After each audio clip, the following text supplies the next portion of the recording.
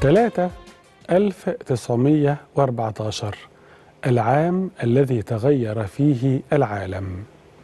البعض دايما بيبدأ من 1945 نهاية الحرب العالمية الثانية اللي بقى فيه قوتين عظميين الاتحاد السوفيتي وأمريكا والثنائية القطبية اللي بعد كده. لكن في الواقع الحرب العالمية الأولى هي التي أسست بشكل كبير للعالم المعاصر. طبعا الحرب العالمية الثانية كانت مهمة جدا ومؤثرة للغاية لكن الحرب العالمية الأولى قد تكون الأكثر تأثيرا. عام 1914 بدأت الحرب العالمية الأولى. قعدت لإمتى؟ 1918 الحرب دي أسفرت عن انهيار الإمبراطورية النمساوية المجرية. كانت إمبراطورية عملاقة بتحكمها أرقى أسرة مالكة في أوروبا أسرة الهابسبورغ. لكن دي نرجع لها بعدين. انهارت كمان الإمبراطورية الألمانية وانهارت كمان الدولة العثمانية. يعني الدولة العثمانية لم تسقط وحدها في الحرب العالمية الأولى نتيجة هذه الحرب وإنما العثمانية والألمانية والنمساوية المجرية فشوف التغيير الكبير اللي حصل في العالم بعد الحرب العالمية الأولى. التغيير الثاني إن روسيا كانت دولة أوروبية. جزء من أوروبا وثقافة أوروبا والمسيحية الأوروبية عموما. لكن بعد الحرب العالمية الأولى بقت روسيا الاتحاد السوفيتي الإمبراطورية الشيوعية. خدت الفكر الاشتراكي الماركسي ده من ألمانيا وبريطانيا بالأساس. إن ده فكر غربي.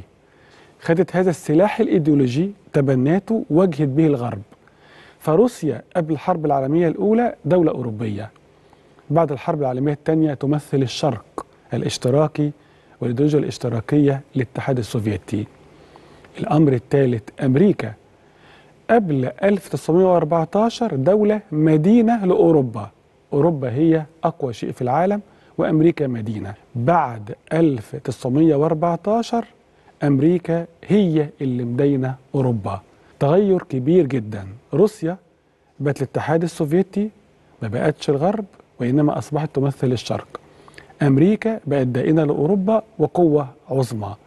التعليم المتغير الأخير في هذا النقاش الموجز التعليم في الجامعات قبل الحرب العالمية الأولى كان لصفوة الصفوة. مفيش في أوروبا وأمريكا بسهولة حد يدخل الجامعة.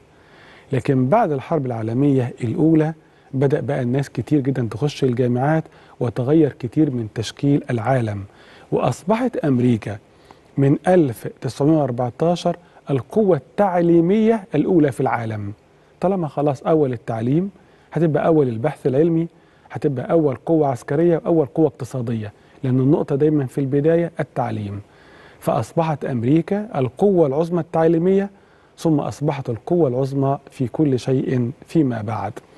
هذا التحليل يعود إلى المؤرخ البريطاني الكبير أرنولد توينبي هو مرجعنا في هذا الكلام في محاضرة ألقاها في جامعة القاهرة 1964 شكرا لحضراتكم وإلى حلقة جديدة من برنامج الطبعة الأولى.